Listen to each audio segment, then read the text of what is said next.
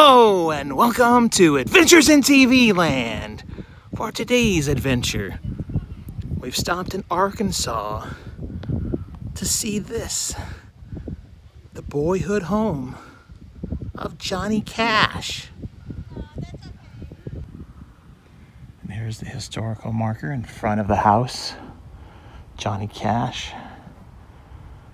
Johnny Cash, 1932 2003 was one of the most influential musicians of the 20th century, successful with country, rock and roll, folk, blues, and gospel music.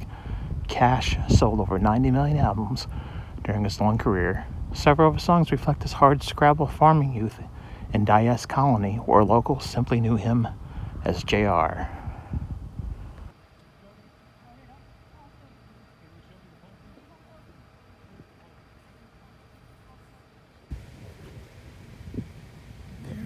is, the home of Johnny Cash.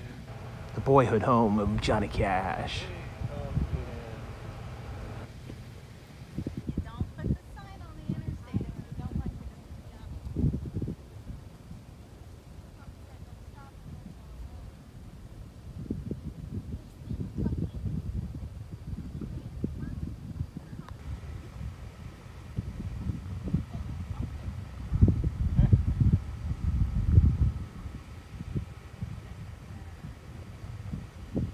Uh, this has been our short visit here to Johnny Cash's boyhood home in Arkansas, Dyess Colony.